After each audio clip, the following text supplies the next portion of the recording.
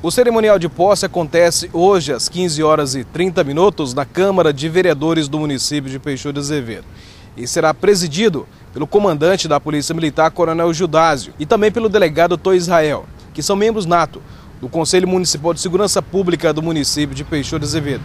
Irá tomar posse o Edson Santos, conhecido também como Maguila. Muito bem, Dinei. Nós estamos convidando aqui a toda a sociedade peixotense né, para a posse da, da nova chapa é do Conselho de Segurança de Peixoto de Azevedo. Estaremos na Câmara de Vereador a partir das 3 horas e 30 minutos, né? A posse da nova mesa diretora e toda a sociedade está convidada para participar conosco nesta tarde, né? Onde nós vamos tomar posse, eu vou tomar posse como presidente do conselho e também irei dar posse também à nova mesa diretora.